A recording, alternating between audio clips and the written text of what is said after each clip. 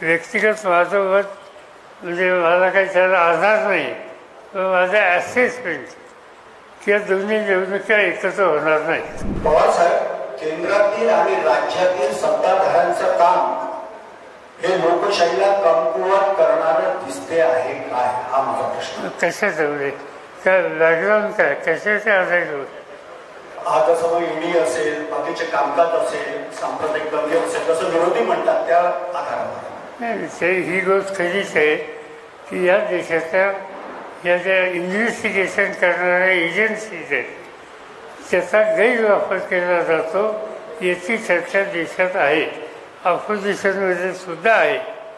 आणि त्यासंबंधी आम्ही काही लोकांनी एक लेखी पत्र देशाचे राष्ट्रपती यांना लिखित स्वरूपामध्ये दिलेलं आहे त्याच्यामध्ये उदाहरणं आम्ही दिली.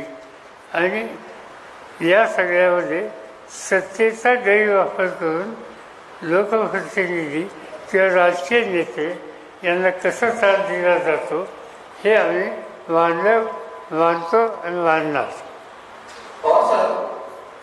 अ, लोकसभा आणि विधानसभाच्या जे निवडणुकी एकत्र होतील असं एक चर्चा आहे. आपलं काय त्याच्यावर? त्याच्या त्याचा आधार काय मला माहीत नाही. व्यक्तिगत माझं म्हणजे मला काही त्याला आधार नाही पण माझा ॲसेसमेंट किंवा दोन्ही निवडणुका एकत्र होणार नाहीत.